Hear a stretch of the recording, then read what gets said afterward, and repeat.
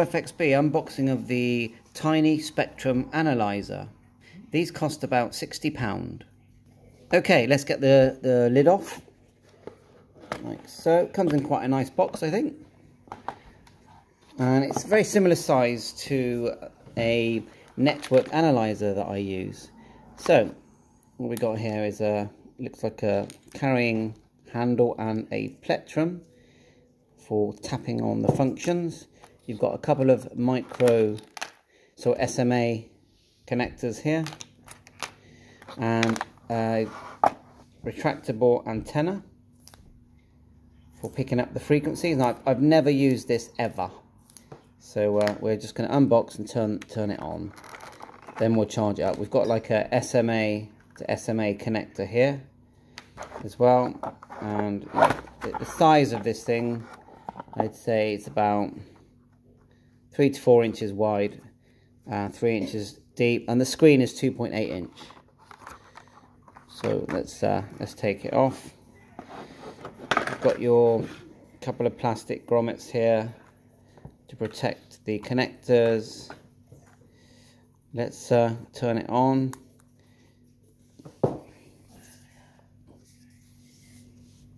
So it looks straight away. It looks very similar to um, to my Nano VNA, which I will show you. So here's your Nano VNA, and I, uh, this this Nano VNA has changed my whole hobby because now when I have a problem with antenna, if things just aren't working correctly, I connect, I calibrate this, put it onto the antenna, and straight away I start to get an idea of what at what is going wrong with my antenna. Uh, so because it makes you see the whole, uh, see where the SWR is low and the peaks and it gives you an idea and you start checking connectors and you start checking the antenna and, and, and, eventually you find the problem. So this, I think, is one of the best tools I've got and I'm really pleased with it. So the frequency analyzer, it's one of those things where I'm not really sure if I need one or want one. So I'm going to try it out. So you can see that USB charger there. You've got controls on the front here. Now I don't even know how to use this at the moment. What I've seen on videos is that the antenna screws onto one and like so let's just uh, turn it. Don't want to break the thing.